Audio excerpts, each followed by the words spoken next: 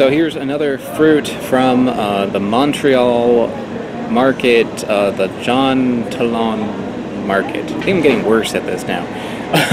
so this is one that uh, I've been using this as my camera stand. Actually, I'm using it right now as my camera stand. It came in one of these little little containers like this. It is a very tiny little cucumber.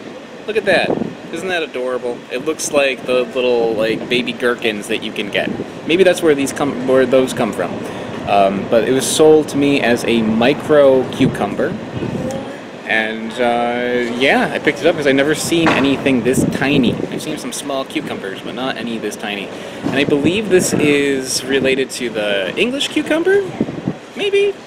You know, there's like a you know, there are cucumbers here that are very like long and thin. They look like this, but like they are maybe about yay long and like a little bit wider. I actually grabbed a slice of one from one of the tasting tables here. They're about like that wide. Not as wide as your traditional cucumbers that you get in the US. Uh, I'm not sure exactly what the name of this type of cucumber is.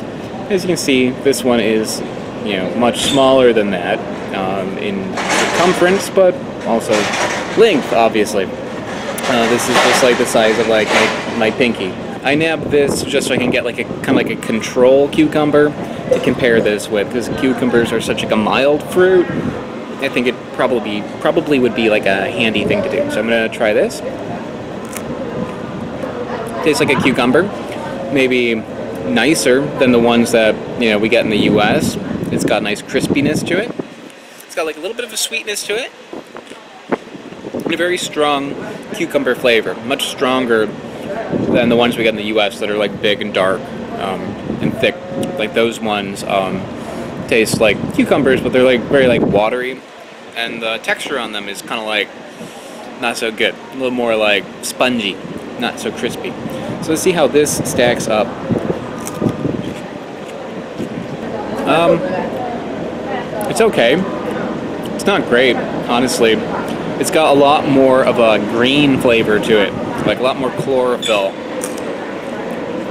Tastes a little bit like um, like a green bean.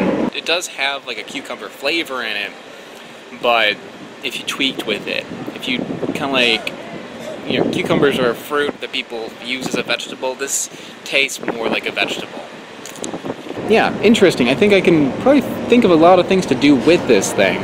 But if I were to pick this up expecting to be to use it as a traditional cucumber, it would work, but it would definitely add more of a vegetable, a vegetable flavor to uh, what you're making. It'd be a little bit, a little, uh, little beany tasting, little greeny tasting, little vegetable tasting, but um, not bad. Just different, different you know, I like cucumbers, and um, you know, honestly, like if I were to sit down and just like eat cucumbers, um, I could do that. I wouldn't want to do it with this one. It's not nearly as refreshing as a normal cucumber. This is more like something I would cook with or put in something than eat on its own. But otherwise, it's pretty good, and it's adorable. That is the most important thing. If you want to eat nothing but adorable food, this is a great one to pick up.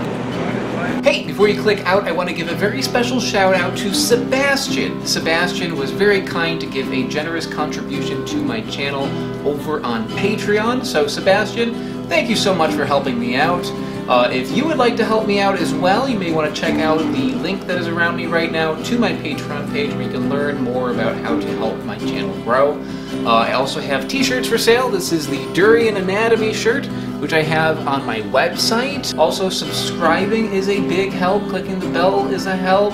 Clicking like and leaving a comment, that's all very useful too. So if you haven't done any of those things, guys, please consider it. Otherwise, guys, I will see you next time.